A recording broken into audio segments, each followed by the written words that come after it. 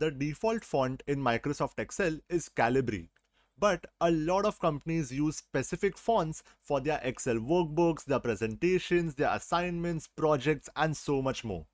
If you belong to a company which uses a specific font for their Excel workbooks, for example, let's say Arial, what you can do is change the default font in Microsoft Excel from Calibri to Arial or any other font that you like so you don't have to change your font again and again whenever you work in Microsoft Excel. Changing the default font in Microsoft Excel is very easy. This is how you can do it. What you need to do is go to the file options. So I'll simply click on file.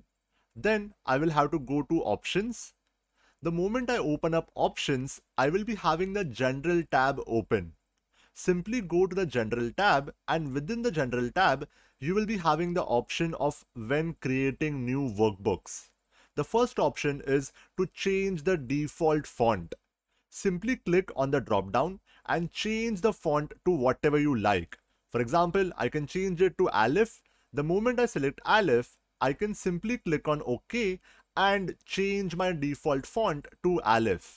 The moment you click on OK, you will be having a pop-up which says please close and restart Microsoft Excel. You need to first restart Microsoft Excel for the changes to take place. The moment you click on OK, close Excel workbook and restart it, you will be having the default font changed to Arial.